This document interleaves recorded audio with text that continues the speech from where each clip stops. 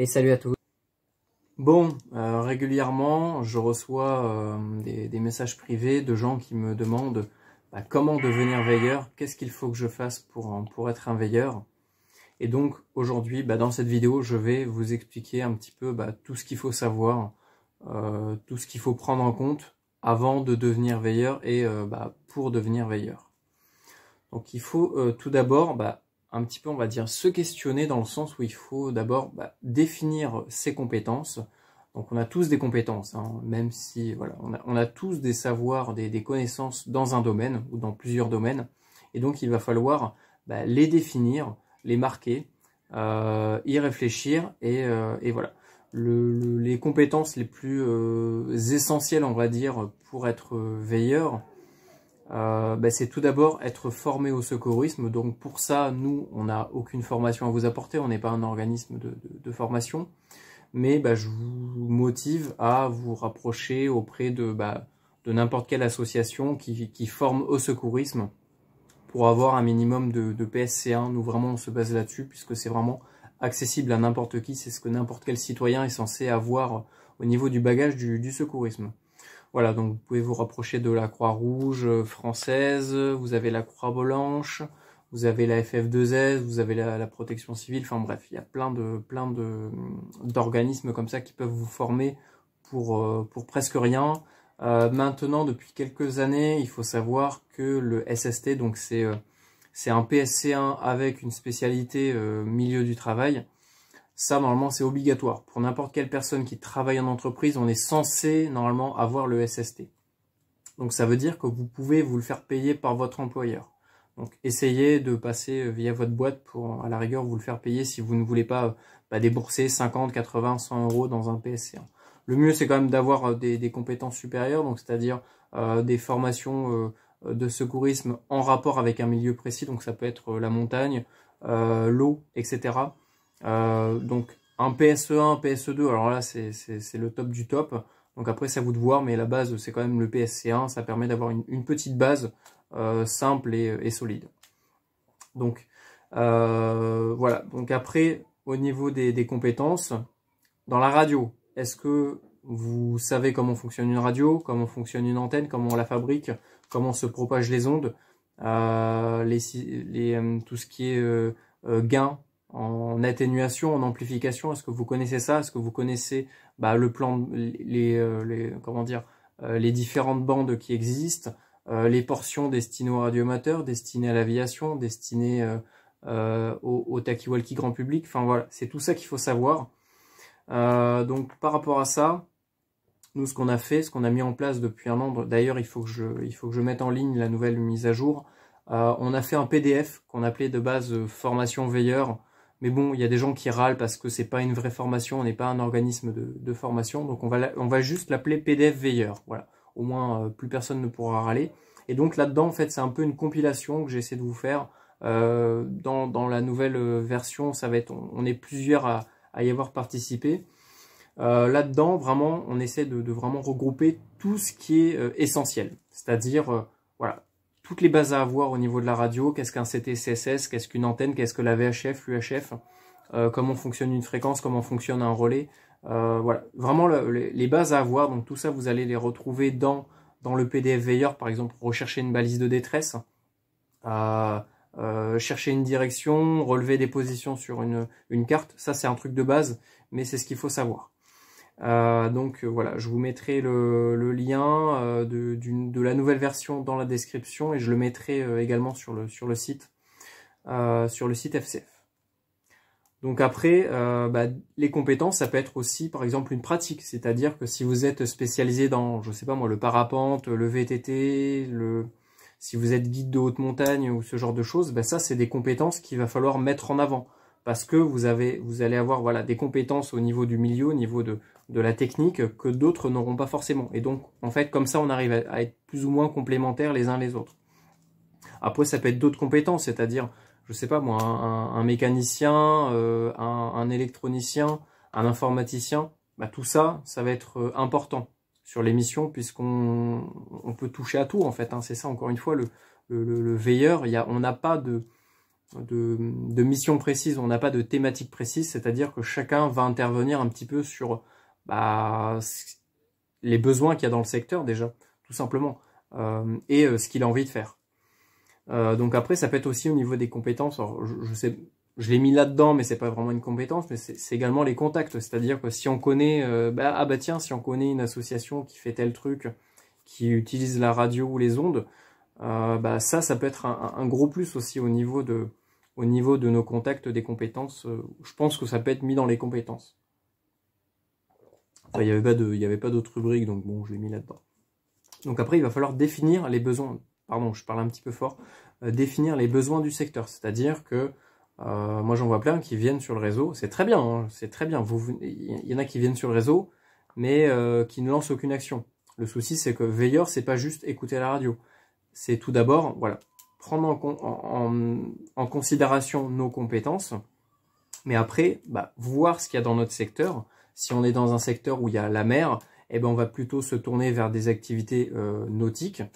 Euh, par exemple la veille de, de, fréquences de détresse en mer, euh, se former par rapport au secourisme aquatique. voilà, ça c'est plus pertinent que voilà si vous êtes en montagne et vous vous formez pour, du secourisme aquatique par exemple, bah, c'est pas pas logique. Donc par exemple, voilà, pour les besoins du secteur, ça peut être, euh, j'avais marqué quoi? Des zones blanches au niveau du réseau, c'est-à-dire qu'il y a encore en France des zones en montagne euh, bah, dans lesquelles en fait il n'y a pas le réseau téléphonique. Donc l'idée, ça va être de vous, ça va être votre rôle en tant que veilleur, bah, de, mettre en place des dispositifs, euh, un réseau bénévole. Donc après, voilà, on peut voir ça ensemble. Hein. Encore une fois, il n'y a rien de précis. Euh, bah, mettre en place quelque chose pour pallier à ce souci. C'est-à-dire que bah, si là il y a un accident dans cette zone blanche, eh ben euh, c'est ça qu'il faut se questionner, c'est par quel moyen est-ce qu'on peut réussir à, euh, à, sécuriser cette zone par rapport aux pratiquants? Ou je sais pas, moi, ça peut être une zone dans laquelle il y a pas mal de gens disparus, il y a pas mal d'accidents. Et donc, bah, comment, qu'est-ce qu'on pourrait mettre en place tous ensemble en tant que citoyens pour sécuriser ce lieu? Pour qu'il y ait moins d'accidents. Donc c'est tout ça en fait. Veilleur, c'est pas juste allumer une radio, se mettre en écoute. Euh, voir aussi au niveau des associations. Euh, peut-être qu'il y a des associations qui, euh, qui ont des besoins spécifiques, mais qui, en fait, ils ont, voilà, ils n'arrivent pas à trouver l'information, ils n'arrivent pas à mettre en place quelque chose. Et donc votre rôle, ça va être également, bah voilà, de, rentrer en contact avec des associations locales, déjà leur présenter bah, le groupe, qu'est-ce que nous on peut leur apporter, parce que c'est encore ça. Encore une fois, se présenter pour dire voilà, nous on fait ça, mais sans rien derrière, bah, l'association va se dire ok, mais ça sert à quoi de vous être présenté, ça sert à quoi de nous faire perdre du temps? Donc, euh, leur présenter un petit peu ce que nous on peut leur apporter, bah, ça, ça peut être un gros plus au niveau du secteur. Ça peut peut-être euh, permettre, voilà, des. Euh, c'est vrai qu'on est essentiellement axé sur tout ce qui est randonnée, etc. Parce que c'est là-dessus qu'en fait il y a un énorme manque au niveau de la sécurité des pratiquants. Donc voilà, si vous avez une association de randonnée, une association de, je sais pas moi, euh, des gens qui font du 4x4 en nature, des gens qui font du VTT, des gens qui font de la, du, motocross et qui n'ont aucun moyen de... Euh, qui, qui, roulent dans des zones où, c'est parfois accidenté, où il y a des risques d'accident, et eh bien leur présenter le groupe, leur présenter également tout ce qu'on met en place derrière, les projets par exemple le, canal 7.7, leur présenter par exemple pour les gens qui sont en mer, mais oh, normalement ils sont censés connaître, mais euh, il y a des fois des voilà des comme ça des associations qui font des fois des, ou même des, colonies de vacances, des centres aérés qui sortent en mer mais qui ne savent même pas qu'il y a des fréquences destinées aux gens qui bah, qui sont en mer. Et euh, voilà en cas d'accident ça peut permettre par, exemple comme ça à, un centre aéré bah, s'ils sont équipés en radio bah, de d'appeler par exemple le cross de leur région, le cross de leur zone, donc les secours les secours en mer et de, bah, de demander de l'aide tout simplement. C'est plus rapide que d'appeler le, le, 112. Euh, et c'est en rapport avec la zone. Donc voilà, c'est toutes ces petites choses en fait qui, euh, sur le long terme, en fait, petit à petit, on peut se rendre utile à droite à gauche. Donc voilà, contacter une association, euh, une colonie de vacances, un centre aérien en disant, bah voilà, si vous faites des sorties en, rando, bah nous, on peut mettre en place une veille le week-end ou la semaine selon les besoins bah voilà, si vous sortez en randonnée et qu'il y a un accident, eh ben vous pouvez nous, appeler par la radio et, euh, nous on peut par exemple bah, envoyer euh, ou même voilà mettre en place je sais pas moi un dispositif de secouristes bénévoles sur, le, la balade avec les enfants. Ça peut également nous permettre bah, de découvrir un autre, secteur et de se rendre utile. voilà, donc c'est plein de, petites choses comme ça sur lesquelles on peut, se rendre utile tous les jours dans la vie citoyenne. Donc voilà, contacter les associations, pour moi, c'est quelque chose de, pertinent. Euh, ça peut être également les parapentistes, ça peut être surtout que eux utilisent énormément la radio. Je pense que ça peut être vraiment un domaine dans lequel on, peut vraiment, euh, vraiment se pencher et vraiment euh, s'impliquer dedans. là encore, récemment, il y a eu des, gens qui ont été disparus. bah, en fait, on les a retrouvés trois jours plus tard. Peut-être que si euh, derrière on aurait pu mettre des dispositifs en place pour un petit peu mieux sécuriser cette pratique, bien que ça soit quand même une, pratique relativement bien sécurisée, eh ben ça aurait peut-être pu permettre bah, à ces gens-là de ne pas euh, euh, rester bloqués pendant trois jours dans un arbre ou de s'écraser dans, des rochers et de ne pas pouvoir appeler à l'aide. Donc voilà, notre rôle c'est aussi beaucoup sensibiliser et apporter des outils de sécurité auprès des pratiquants, auprès des citoyens. Euh, voilà, donc euh, association, activité outdoor, encore une fois, voilà, je ne vais pas me répéter, je viens de le dire. Euh, donc, présenter l'initiative FCF via des dossiers. Donc ça, on avait créé un dossier, je ne sais pas s'il est finalisé. Encore une fois, votre rôle également en tant que, veilleur et, que membre FCF, pour ceux qui sont membres FCF, bah, c'est de participer à ce genre de projet. on a monté un dossier qui présente le groupe, qui présente un petit peu bah, tout ce qu'on peut éventuellement mettre en place et eh ben si vous voyez qu'il y a des, manques, des lacunes dedans, eh ben n'hésitez pas à, participer et à, le mettre à jour, à faire euh, voilà, à le, complémenter. Euh, après ça, il faut également bah, trouver euh, des, gens qui sont motivés dans votre secteur. Donc ça peut être des, gens qui pratiquent la radio, des gens qui pratiquent des activités outdoor ou autres. Hein. Euh, voilà, donc ça peut être vos amis, des connaissances ou des gens que vous allez rencontrer euh, durant votre, vie. Euh, monter une petite équipe en local ou national autour d'un projet. Alors là, en local, par exemple, bah, encore une fois, ça peut être par rapport à ce que je vous ai dit tout à l'heure, c'est-à-dire que si il y a une association de rando, la plupart du temps, les associations de rando, il faut dire ce qui est, hein, ce sont des gens plutôt âgés, et eh ben, avoir des petits jeunes qui viennent avec eux pour encadrer le truc, si jamais il y a un accident, bah, ils savent qu'il y a un, petit citoyen euh, de, 20-30 ans qui est formé au secourisme qui peut peut-être bah, euh, intervenir en attendant les secours. Encore une fois, nous, notre rôle, c'est pas d'être les secours. Nous, on est l'intermédiaire entre les citoyens, les pratiquants et les secours officiels. Donc, on doit jouer un rôle vraiment comme ça d'intermédiaire, tout simplement. Donc ça, ça peut être un projet et euh, un projet local qu'on peut monter euh, donc voilà, si et même en contactant souvent les associations, eh ben il y en a qui se disent ah bah tiens moi ça m'intéresse, comment est-ce que je pourrais faire pour pour m'investir, pour participer? Eh ben euh, montrez-leur cette vidéo, montrez-leur un petit peu ce qu'on fait, euh, expliquez-leur un petit peu la démarche citoyenne qu'on a. Et comme ça, ça peut amener des nouveaux membres bah, à s'investir, à, découvrir ce qu'on fait et à se rendre utile. donc on peut le faire en local ou en national, c'est-à-dire que même si vous êtes tout seul sur un secteur, nous on est derrière. C'est vraiment le but du groupe, c'est-à-dire que on peut éventuellement vous proposer un appui technique, euh, même à distance, bah, via le réseau CIDEF par exemple, qu'on est en train de développer énormément en ce moment. Donc c'est-à-dire que même tout seul, avec votre smartphone, votre petite radio, bah, vous allez euh, avoir accès à un réseau national avec euh, des, des gens, je ne vais pas dire formés, parce qu'après les gens vont encore râler, on n'est pas là pour former les gens, mais euh, des gens qui sont un minimum compétents et qui vont pouvoir, en cas de, en cas de souci, bah, relever des infos, euh, vous donner des, euh, des, des, marches à suivre pour, pour que ça se passe bien en attendant les secours. voilà. Donc ça, ça peut être une, des, choses à mettre en place. Donc c'est-à-dire que même si vous êtes tout seul dans votre secteur, eh ben, derrière, nous, on peut mettre en place voilà, des dispositifs tous ensemble pour peut-être veiller à distance, pour peut-être communiquer à distance via Internet et via toutes les technologies qu'on a actuellement, euh, et, comme ça bah, remplir notre, mission euh, qu'on s'est définie bah, sur, un secteur, sur, euh, sur une thématique, sur un, domaine. Donc voilà, vraiment, il faut voir le CIDEV, il faut voir le Discord, il faut voir tout ce qu'on essaye de mettre en ligne comme, comme des ressources en fait. Nous, on est là juste pour, pour mettre à disposition des ressources. Donc des ressources, ça peut être technique, donc avec du matériel, mais également au niveau des connaissances. Donc ça peut également vous permettre bah, de, mettre en place différentes choses dans votre secteur. Et si jamais vous avez des idées ou des questions, bah, n'hésitez pas, encore une fois, à le proposer au groupe. C'est comme ça que petit à petit, on va pouvoir euh, ben, mettre beaucoup plus de choses en place et, être pertinent et, euh, avoir un, rôle euh, et comment dire les gens ne vont pas nous voir comme des gens désorganisés, ils vont vraiment nous voir comme des gens sérieux et organisés. C'est le but, c'est de structurer, de nous structurer autour de projets utiles. donc voilà, monter une équipe, se former. C'est le plus important pour moi, c'est se former au secourisme, à la radio, à toute autre chose. Euh, voilà, c'est pour moi c'est essentiel. Vous avez beau avoir tout le matériel que vous avez, si vous ne savez pas vous en servir, ça ne servira à rien.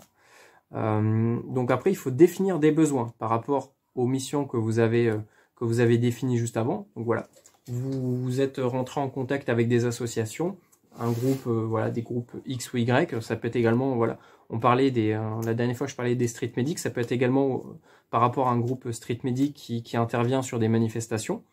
Eh ben euh, voilà, écoutez euh, leurs demandes, leurs besoins, et, notre but à nous, euh, ça va être de répondre à ces besoins-là, en faisant un appui technique, en faisant un appui au niveau des connaissances.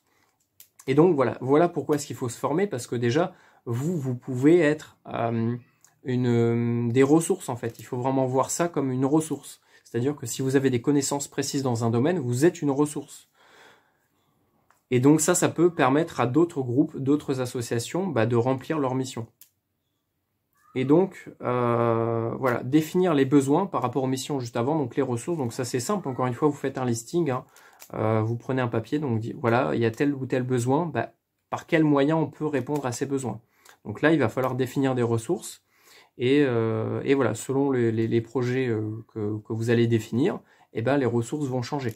Donc c'est pour ça qu'il faut en définir et après bah, essayer de trouver un moyen bah, d'acquérir ces ressources. Donc ça peut être du matériel de secourisme, ça peut être, euh, je sais pas moi, ça peut être tout et n'importe quoi.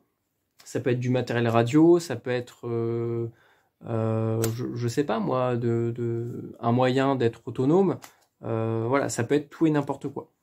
Donc ça après on peut, on peut se débrouiller ensemble à trouver, à trouver des gens qui seraient prêts à faire des donations de matériel qu'on va pouvoir redistribuer dans les différents projets. Donc les ressources, définir un besoin en ressources, c'est super essentiel parce que c'est ça qui va euh, faire euh, que sur le terrain, on va vraiment pouvoir être efficace. Parce que si on est désorganisé, si on n'a pas de matériel, on va, ça sera, ça sert à rien en fait. Donc c'est pour ça qu'il faut bien définir les ressources. Et après, bah, une fois qu'on les a définies, bah, il faut s'équiper il faut s'équiper par rapport aux ressources qu'on a besoin. Donc ça va être les radios, les antennes, euh, définir par exemple, voilà, euh, acquérir par exemple euh, des, petits relais comme ça. Vous voyez, ça coûte pas très cher, c'est une radio homologuée, c'est un petit boîtier sur com. Certes, les relais sont illégaux, je le répète pour pas qu'on puisse après me le reprocher. Mais ça, si par exemple un jour il y a, un souci, il y a une catastrophe, il y a une zone, une zone dans laquelle le, dire le GSM, le téléphone ne passe pas, eh ben en déployant ce genre de petites de petits dispositifs sur un, sommet, un point haut, eh ben, on va pouvoir établir une, liaison radio très facilement entre plusieurs équipes. Et donc ça, c'est ça, c'est une ressource super importante que vous pouvez mettre euh, bah, dans, votre liste, par exemple. Donc s'équiper radio, après voilà, vous pouvez en, radio, c'est pour ça que j'essaie de faire quelques reviews maintenant pour, présenter du matériel vraiment accessible et qui va répondre en fait à différents besoins parce que selon les secteurs, encore une fois, les besoins ne sont pas les mêmes. Si c'est pour faire euh, de la veille, euh, de la veille en mer, eh ben euh, une radio 446 qui n'est pas étanche, ça sera pas du tout votre, ça sera pas du tout, ça ne rentrera pas dans vos besoins. Tout comme bah, quelqu'un qui va être en montagne, une VHF marine étanche, bah, ça n'aura aucun intérêt non plus. Donc c'est pour ça que notre but, voilà, c'est de vous présenter le plus de matériel possible. On n'est pas là pour vendre le matériel, on est juste là pour le tester et, euh, voilà, essayer de vous apporter des ressources et un appui technique. S'équiper en radio, relais, euh, secourisme. Donc le secourisme, ça peut être des sacs à dos comme ça, ça peut être des trousses de premier secours que vous allez pouvoir distribuer à votre équipe. Ça peut être du matériel un peu plus, un euh, comment dire, personnel pour un porte radio dans lequel vous allez également pouvoir mettre par exemple votre carnet, quelques trucs de, première nécessité, votre téléphone, accrocher des accessoires en plus, ça peut être un sifflet, n'importe quoi. Donc tout ça, tout ça, ça fait partie des ressources. Avoir trouvé des vieux casques. Donc ça, encore une fois, on peut aller voir, par exemple, je sais pas moi, euh, des, magasins de vélo. Peut-être qu'ils ont des vieux casques cassés euh, ou des vieux casques euh, qui vont jeter à la poubelle. Eh ben, nous, on, va pouvoir les récupérer pour les redistribuer à des équipes, par exemple, de, de, street medic en manifestation, de gens qui, de gens qui veulent faire du SAR en montagne. voilà, ça c'est des outils pertinents. Et ça vaut pas très cher. Donc voilà, s'il y a des gens qui ont des, vieux stocks de casques de, vélo, eh ben les mettre à disposition, bah, ça peut énormément aider. Donc voilà, ça, ça fait vraiment partie des ressources. Ça peut être également, euh, voilà, comme là, vous voyez des, antennes. Euh, ça peut être, euh, ça peut être également une ressource pour une équipe. Ça peut être également une caisse à outils. Ça a l'air tout bête, mais ça, ça peut, ça c'est un, pour, le FCF 34, c'est notre PC radio. C'est-à-dire que là-dedans, on va, on va avoir euh, un, parc, euh, un parc radio homologué. Donc on a, euh, on va dire, là l'objectif, ça serait d'avoir une dizaine de, portatifs qu'on va pouvoir recharger facilement sur un, système de panneaux solaires. On va avoir un relais qu'on va pouvoir déployer facilement, un petit relais perroquet. On va peut-être mettre, je sais pas moi, un système de cartographie, voilà. Et tout ça dans une caisse. C'est-à-dire que, hop, la caisse, elle est prête chez vous. Si jamais il y a, euh, je sais pas moi, si jamais un week-end, il y a une sortie de, randonneur que vous voulez aller l'encadrer, hop, vous prenez la caisse, vous la balancez dans la bagnole, et vous savez que vous avez quasiment tout dedans. Vous avez euh, voilà du, médical, euh, voilà, ça peut être tout, tout et n'importe quoi. Après, à, vous d'adapter selon les besoins bah, vos caisses, vos caisses d'intervention. Et donc ça, on peut imaginer, voilà, sur un département, trois ou quatre équipes avec plusieurs caisses comme ça. Ça vaut pas cher, je crois que je l'avais payé 10 euros. Euh, qu'on va pouvoir bah, déployer sur différents sommets, différentes zones, et on va pouvoir établir des liaisons entre les différentes équipes et, faire circuler de l'info. Euh, ça peut être également au niveau de, des outils, hein. donc là j'en ai pas forcément parce que bon voilà, mais ça peut être des outils, je sais pas moi, selon les besoins, ça peut être euh, une pelle, un extincteur, ça c'est des outils pertinents. Si jamais il y a un feu de forêt, si jamais il y a un début d'incendie, eh ben, euh, ça peut vous permettre, en attendant les secours, bah, de, maîtriser plus ou moins euh, un incendie et, euh, voilà, de ne pas être là comme, un, comme, un, bêta à, ne pas pouvoir intervenir. Donc voilà, encore une fois, moi j'ai des extincteurs parce que dans mon secteur c'est quand même relativement fréquent au niveau des, incendies, mais voilà, c'est à vous d'adapter après votre, votre caisse. donc ça, encore une fois, vous venez sur le Discord, proposer, lancer des idées, lancer des initiatives. Euh, voilà. Maintenant, vous avez toutes les procédures, euh, euh, vous connaissez les procédures pour devenir veilleur, pour s'impliquer au niveau local. Après, nous, on est là pour vous aider, pour vous répondre. Donc, il y aura forcément quelqu'un de compétent dans, un domaine pour vous répondre et vous conseiller tel ou tel matériel. voilà, voilà par rapport à l'équipement. je pense que j'ai fait un petit peu le tour. Ça peut être également comme ça des casques des casques euh, qui vont également vous permettre de communiquer. Si vous êtes dans des milieux bruyants, ça peut également vous permettre de, rester concentré sur votre travail. Ou si vous êtes euh, euh, en tant que, PC veilleur, eh ben si voilà, ça, ça, vraiment ça vous permet d'être cloisonné et d'être concentré sur ce qui se passe et de ne pas être distrait par, par ce qu'il y a autour. Ça peut être voilà comme ça d'autres trousses que vous allez pouvoir euh, trimballer sur vous euh, pendant une rando avec vraiment tout le nécessaire dedans. Voilà. Après, euh, notre but c'est également voilà de trouver des ressources, de trouver des gens qui seraient prêts à donner du matériel pour le remettre à disposition derrière des, aux, différentes équipes. Mais il faut d'abord monter des équipes. Donc voilà, définir et après une fois qu'on a qu'on s'est équipé, il faut faire un listing moi, c'est ce que je vous conseille de faire. Donc ça, encore une fois, sur le Discord, je crois que ça s'appelle euh, moyen opérationnel FCF. Et donc, par secteur, par groupe, par département, par région, on va euh, faire un listing de tout ce qu'on a, de tout ce qu'on peut mettre à disposition. Donc ça peut être également un véhicule. Si vous, vous avez un véhicule, bah, c'est bien de le marquer. Donc voilà, définir les ressources à disposition, c'est bien parce que euh, si par exemple, je sais pas moi, il euh, y a une association de tel département qui nous contacte parce qu'ils ont vu ce qu'on met en place et que ça, les intéresse et qu'ils aimeraient qu'on les aide sur certaines choses. et ben le fait d'avoir une liste avec, avec les ressources, on peut leur dire, bah écoutez, euh, par rapport à vos besoins, nous, on a déjà à disposition telle et telle chose dans votre secteur. Euh, et donc après, on peut euh, relancer les gens pour trouver d'autres matériels et, comme ça, petit à petit, répondre entièrement aux besoins de, l'association, de, voilà, du groupe qui nous a contactés. J'en étais sûr, je m'y attendais. voilà, donc définir les ressources, c'est super important. Faire un listing, le mettre à jour, euh, et, voilà. Monter une infrastructure qui répond aux besoins. Donc ça, c'est vraiment le, on va dire quasiment la finalité de la chose. C'est-à-dire que voilà, une fois qu'on a euh, une fois qu'on a défini nos compétences, qu'on a défini les besoins qu'il y avait dans le secteur par rapport aux associations, aux intervenants, etc. Une fois qu'on s'est formé, qu'on s'est équipé, qu'on a défini les ressources, on va pouvoir les mettre à disposition. C'est-à-dire que, voilà, encore une fois, selon les besoins, ça peut être par exemple un refuge bah, qui est complètement isolé euh, de, tout réseau téléphonique, et eh ben on va pouvoir par exemple bah, contacter le propriétaire en lui disant bah, écoutez, nous on a telle et telle chose à mettre à disposition, est-ce que vous serez OK pour par exemple mettre une boîte de première urgence dans votre refuge euh, et après de, la mettre euh, voilà de la maintenir à jour mettre par exemple une station d'écoute sur le canal 7.7 pour votre secteur? Voilà, ça peut être plein de choses comme ça qui peuvent être mis en place. Donc planifier des actions, monter des, infrastructures qui répondent aux besoins. Nous, on est là pour vous aider.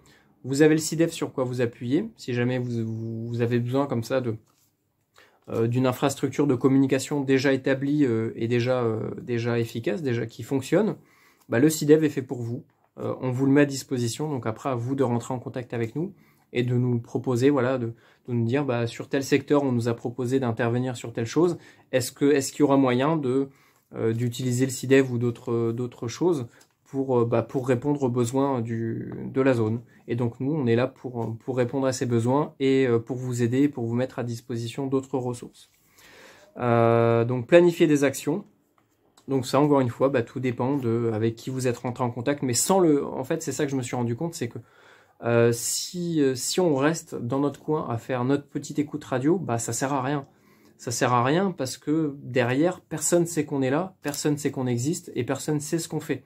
Et donc c'est pour ça que euh, la prise de contact, c'est super essentiel. C'est super essentiel et ça nous permet, en plus de se rendre utile, en plus de comprendre les enjeux, les besoins qu'il y a sur la zone, bah, ça nous permet également de trouver même de, nouvelles personnes motivées avec d'autres compétences euh, qui pourrait également nous aider euh, sur d'autres interventions et se rendre utile. Voilà, donc planifier des actions, ça c'est l'action finale. Donc voilà, posez-nous des questions, rejoignez le Discord. N'hésitez vraiment pas à, poser des questions, à, lancer des idées. On n'est pas là pour vous imposer quelque chose, on est vraiment là pour vous écouter et répondre au mieux dans, le, dans, la mesure du cadre légal, dans la mesure de, nos possibilités, de notre temps on, le fera du, mieux qu'on peut. Et euh, la finalité de la chose, c'est se rendre utile auprès de la population. Donc que ça soit euh, population générale, mairie, association de rando, refuge, euh, voilà, pratiquant, association, ça peut être tout et n'importe quoi, pilote de drone, on peut vraiment imaginer tout, tout et n'importe quoi.